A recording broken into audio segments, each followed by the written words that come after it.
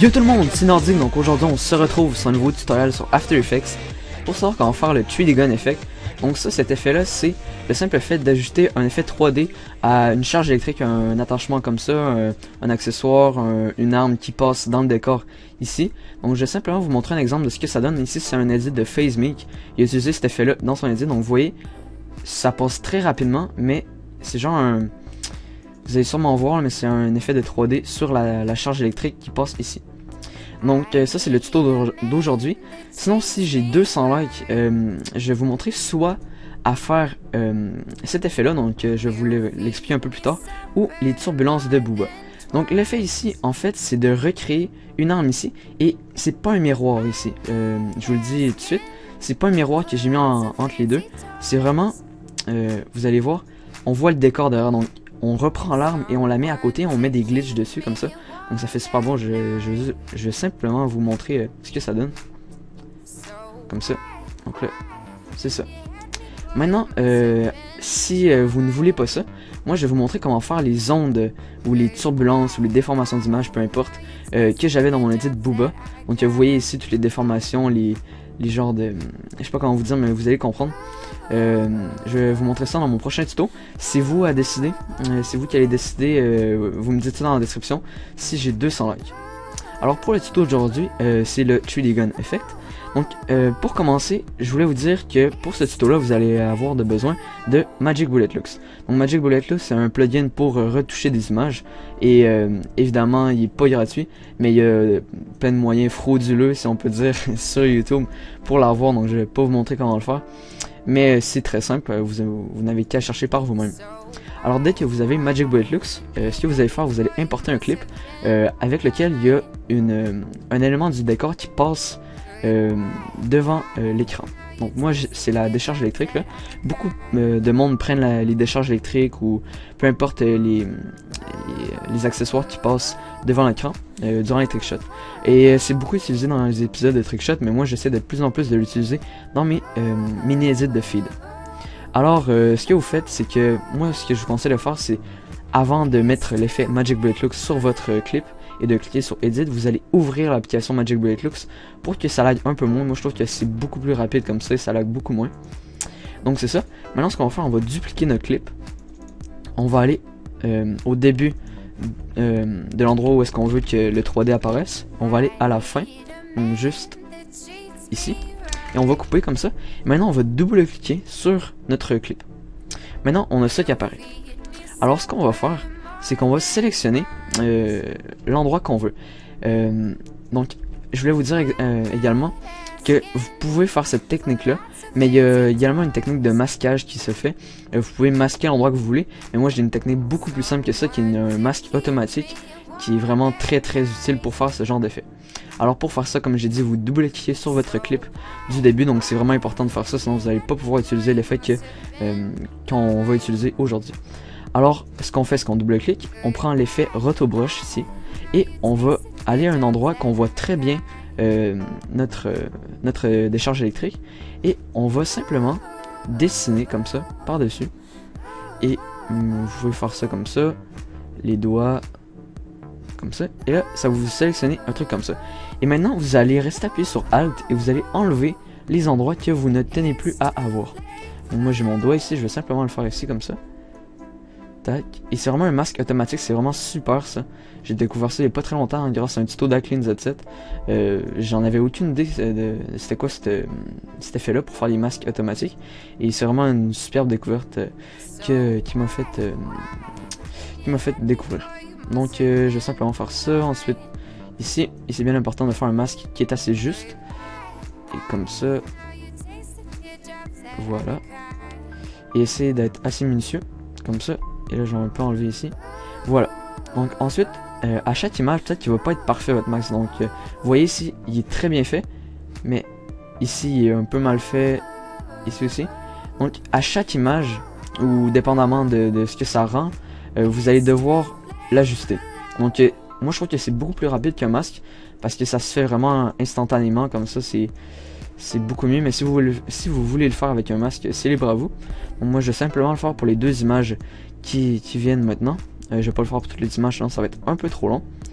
Mais ça, euh, comme je vous dis, il faut être patient, faut bien faire ça. Euh, donc sinon, qu'est-ce que j'ai à vous dire en attendant ça? Oui, je suis rentré dans la SOAR, euh, donc beaucoup de personnes ont été impressionnées de ça. J'en suis très fier parce qu'il y a beaucoup, beaucoup de d'éditeurs qui ont beaucoup de niveaux, qui sont très reconnus dans cette team-là. Et c'est vraiment une team de rêve. J'ai toujours voulu être dans, cette team-là. Euh, j'ai toujours trouvé qu'elle avait, qu'elle avait une bonne allure, qu'elle avait une bonne réputation. Et je sais pas, que la communauté l'appréciait. Donc je suis vraiment fier d'être dans cette team-là. Il y a beaucoup de personnes qui m'ont supporté parmi, euh, parmi toutes les épreuves que j'ai pu, euh, pu traverser, si on peut dire. C'est peut-être nostalgique un peu, mais, euh, mais c'est ça, il y a beaucoup de personnes qui m'ont aidé à, me rendre là. Donc je voudrais les remercier. Je vais pas nommer de nom, ça va être pour plus tard ça. Donc c'est comme ça. Et là, comme je vous ai dit, je vais pas vous montrer pour faire chaque image. Je crois que vous avez compris le concept un peu. dans le fond, vous faites juste sélectionner comme ça avec la souris. Et ensuite avec Alt pour effacer les endroits qu'on veut pas. Donc, maintenant, dès qu'on a ça, ce qu'on va avoir, en fait, si on fait ça, vous allez avoir vos masques ici, comme ça. Donc, moi, comme je l'ai mal fait, il va pas être au bon endroit, comme ça. Comme vous pouvez le voir ici, ça va pas être euh, super beau, ça va pas être euh, très esthétique, mais euh, vous allez comprendre plus tard dès que vous, dès que vous l'aurez bien fait. Donc maintenant, dès qu'on a notre effet là, on peut enlever ça ici. On va mettre l'effet Lux par-dessus. Et comme je vous ai dit, vous ouvrez Lux avant de, de, cliquer sur Edit. Donc c'est juste un petit conseil, vous pouvez faire euh, ce que vous voulez, mais moi je vous conseille de faire ça. Et ensuite vous allez euh, dans Chromatique Aberration, comme ça vous le mettez n'importe où. Et dans Red, Red Cyan, je mets 5. Et dans Blue Yellow, je mets moins 5. Comme ça. Donc vous pouvez vraiment faire ce que vous voulez, vous pouvez ajuster ici aussi. Mais moi je crois que ça c'est vraiment les meilleurs paramètres. Ensuite, vous voyez que vous avez ça. Donc ça, ça fait vraiment super.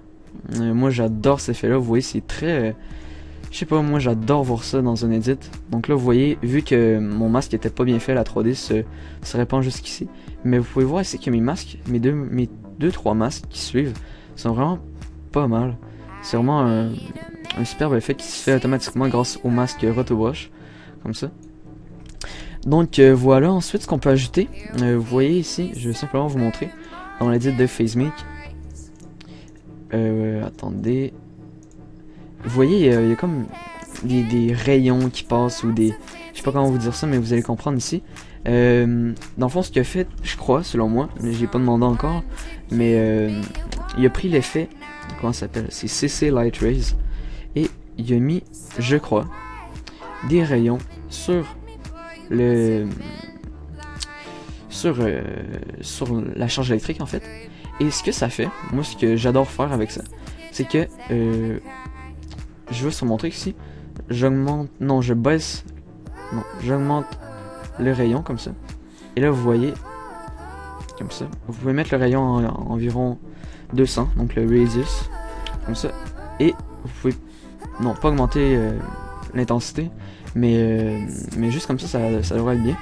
Et là, ce que vous allez faire, c'est dans le fond, mettre des, euh, clés pour que les, euh, les, les rayons restent sur la charge électrique tout au long de votre trickshot. Donc, comme ça ici. Et là, il s'en va. Donc là, ça reste. je vais mettre au centre de mon arme. Comme ça. Comme ça. Voilà. Et là, vous voyez que les rayons restent toujours comme ça. Donc là, vous avez un superbe effet avec des rayons, de la 3D. C'est vraiment, euh, vraiment superbe. Ensuite, ce qu'on peut ajouter, je crois... Euh, moi, je l'avais déjà fait cet effet-là. Je me rappelle plus trop de ce que j'avais ajouté. Je crois que du Vector Blur. J'avais ajouté ça. Je suis pas trop sûr. J'essaie des trucs là. Et c'est vraiment à vous d'essayer des trucs. Non, j'ai pas ajouté ça. Peut-être euh, CC Ball Action. Comme ça. Euh, attendez. Ouais, ça, ça peut rendre pas mal aussi. Euh... vous voyez ici, ça peut faire un effet vraiment très original.